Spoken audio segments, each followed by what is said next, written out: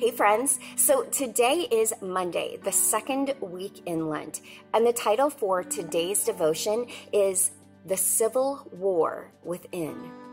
Matthew 28 17 says this When they saw him, they worshiped him, but some doubted. Hmm. Six words sum up the civil war that rages inside us every day. They worshiped him, but some doubted. Each of us individually is like that group of disciples.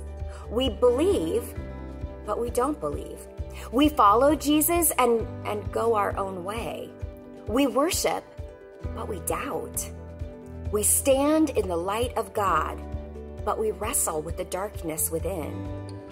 This happened to the disciples when the resurrected Jesus stood before them, when it should have been easy to believe. But even then, some doubted. And so with us.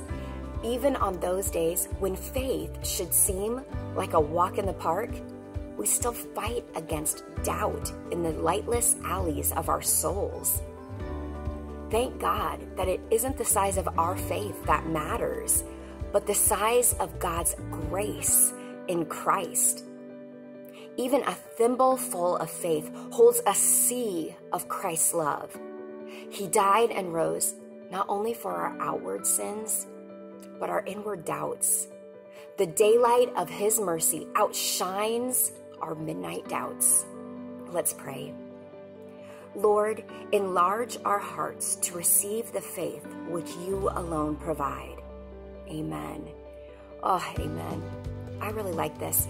I like how he's constantly comparing and contrasting, how he's how he's putting two concepts seemingly in juxtapositions that we really have to look at um, what this actually means so that we can fully understand what this means.